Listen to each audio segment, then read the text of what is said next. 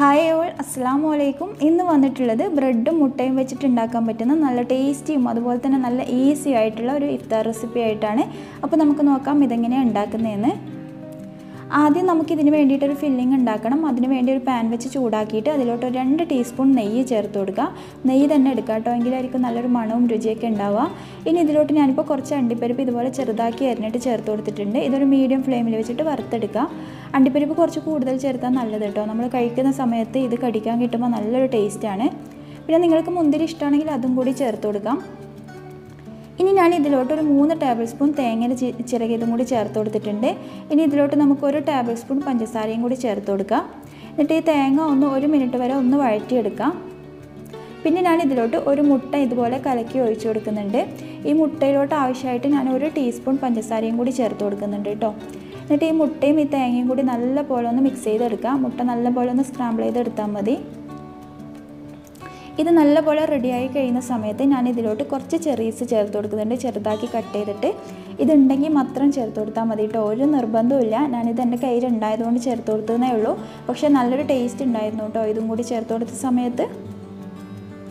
അപ്പോൾ ഇതും കൂടി ചേർത്ത് ചേർത്ത് കഴിഞ്ഞാൽ പിന്നെ ഒരുപാട് സമയമൊന്നും നമ്മൾ വഴറ്റിയെടുക്കേണ്ട ജസ്റ്റ് ഒരു മുപ്പത് സെക്കൻഡൊക്കെ മതി. അപ്പോൾ നമ്മുടെ ഫില്ലിങ് റെഡി ആയിട്ടുണ്ട്. പിന്നെ വേണ്ടത് നമുക്ക് കുറച്ച് പാലും പിന്നെ കുറച്ച് ബ്രെഡ് എടുത്തിട്ടുണ്ട്. നമ്മൾ എത്രയാണോ ഉണ്ടാക്കുന്നത് അതിനനുസരിച്ചിട്ട് ബ്രെഡ് എടുക്കുക കേട്ടോ പിന്നെ കുറച്ച് ബ്രെഡ് ക്രംസും നമ്മുടെ ഈ ബ്രെഡിന്റെ നാല് സൈഡും ഞാൻ കട്ട് ചെയ്തെടുത്തിട്ടുണ്ട്. അപ്പോൾ ആ സൈഡാണ് ഞാൻ ബ്രെഡ് ക്രംസിനോട്ട് ഉപയോഗിച്ചിട്ടുള്ളത്. ഇനി നമ്മൾക്ക് ഓരോ ബ്രെഡായിട്ട് എടുത്തിട്ട് ഈ പാലിലോട്ടൊന്ന് മുക്കിയെടുക്കുക എന്നിട്ട് നമ്മൾ കൈ വെച്ചിട്ട് ഈ പാലൊക്കെ നല്ലപോലെ പിഴിഞ്ഞ് കളയാം. ഇനി നമ്മൾ റെഡിയാക്കി വെച്ചിട്ടുള്ള ആ ഫില്ലിങ്ങിൽ നിന്ന് കുറച്ചായിട്ട് എടുത്തിട്ട് ഒരുപാട് ഫില്ലിങ് വെക്കരുത്. അപ്പോൾ ബ്രെഡ് പൊട്ടിപ്പോവും. അപ്പോൾ ഒരു ടീസ്പൂൺ അല്ലെങ്കിൽ ഒരു ഒന്നര ടീസ്പൂണൊക്കെ മതിയാവും. എന്നിട്ട് ഈ നാല് വശം ഇങ്ങനെ കൂട്ടി പിടിച്ചിട്ട് നല്ല പോലെ ഒന്ന് നമ്മുടെ കയ്യിൽ വെച്ചിട്ട് തന്നെ ഇങ്ങനെ ഉരുട്ടിയെടുക്കുക നല്ല പോലെ അപ്പോൾ പെട്ടെന്നൊന്നും പൊട്ടിപ്പോവൊന്നുമില്ല. എന്നിട്ട് അതേപോലെ തന്നെ നമ്മൾ നേരെ ബ്രെഡ് ക്രംസിലോട്ടും കൂടി കോട്ട് ചെയ്തെടുക്കുക. നമ്മുടെ പാലിൽ മുക്കി ആ നനവ് ഉണ്ടാവുമല്ലോ ആ നനവോട് കൂടി തന്നെ ബ്രെഡ് ക്രംസിലോട്ടും കൂടി കോട്ട് ചെയ്തെടുക്കുക കേട്ടോ നമ്മൾ വേറെ ഇത് മുട്ടയിലൊന്നും മുക്കിയെടുക്കേണ്ട ആവശ്യമില്ല. അപ്പോൾ പാലിന്റെ അളവൊന്നും ഞാൻ കൃത്യമായിട്ട് പറയുന്നില്ല. ഞാനിപ്പോൾ കുറച്ച് ഒരു ഒരു കപ്പോളം പാലെടുത്തിട്ടുണ്ടായിരുന്നു. അപ്പോൾ തികയാതെ വന്നപ്പോൾ ഞാൻ വീണ്ടും പാലെടുത്തിട്ടുണ്ടായിരുന്നു.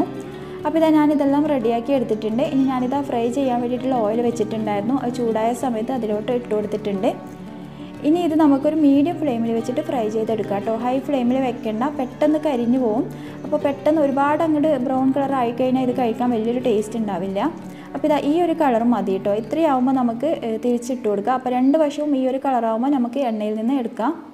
അപ്പോൾ ഇത്രയേ ഉള്ളൂ. നല്ല ടേസ്റ്റാണ് കേട്ടോ കഴിക്കാൻ വേണ്ടിയിട്ട്. അപ്പോൾ എല്ലാവരും ഒന്ന് ട്രൈ ചെയ്ത് നോക്കൂ.